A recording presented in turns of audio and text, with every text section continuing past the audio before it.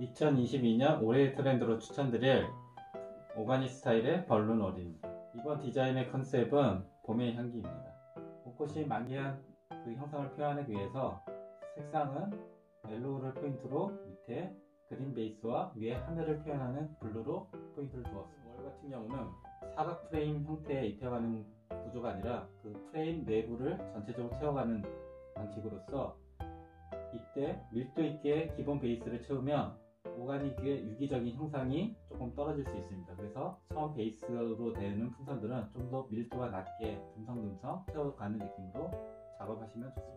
좀더 입체감을 주기 위해서 이 호일 풍선 같은 경우 좀 볼륨의 앞쪽으로 진출할 수 있게 뒤에 받쳐주는 선을 두었고 그 다음에 뒤에 풍선은 깊이감을 주기 위해서 좀 더 들어간 부분과 나오는 부분을 조금 살려주면서 배치를 만들어 주었습니다. 봄의 향기가 느껴지시나요? 벌룬 트렌드에서는 계속 새로운 디자인, 트렌드에 앞서갈 수 있는 여러분께 디자인을 제공해 드리겠습니다. 봄의 향기, 이 컨셉을 만드는 과정은 유료 회원분들을 위해서 별도로 업로드가 됩니다. 궁금하신 분들은 지금 바로 벌룬 트렌드 TV 유로 회원 멤버십에 꼭 바로 가입 신청해 주세요.